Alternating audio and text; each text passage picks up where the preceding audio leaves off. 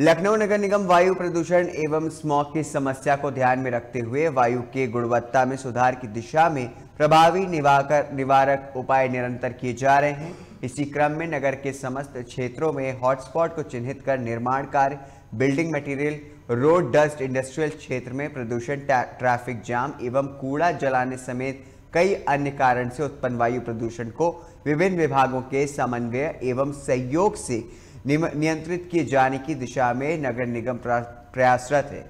विशेष उपायों के अंतर्गत मुख्य मार्गों व निर्माण स्थलों पर व्यापक रूप से पानी के छिड़काव, निर्माणाधीन भावनाओं भवनों को ग्रीन मैट से कवर कराए जाने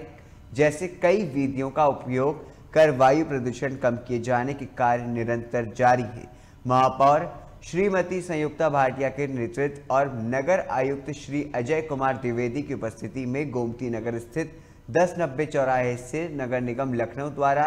वायु प्रदूषण की रोकथाम के लिए समस्त संसाधनों के साथ रैली निकालकर व्यापक अभियान का शुभारंभ किया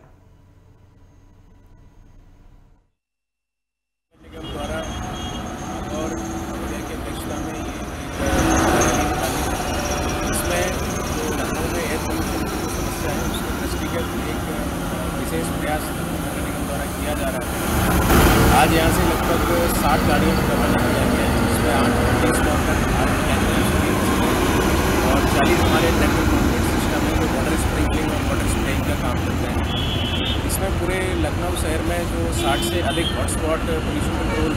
द्वारा चिन्हित किए गए हैं उन स्थलों पर विशेष रूप से वाटर स्प्रिंकलिंग कराने के लिए ये वाहनों को रवाना किया गया है। और इस प्रकार से और भी अन्य स्थल हैं जहाँ जहाँ पे ये इस प्रकार की कंप्लेंट्स आती हैं। जो कराते हैं।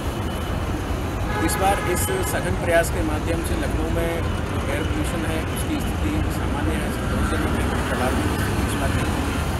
लखनऊ नगर निगम का ये प्रयास रहेगा कि लगातार हम एयर क्वालिटी जो है बेहतर बना के रखें।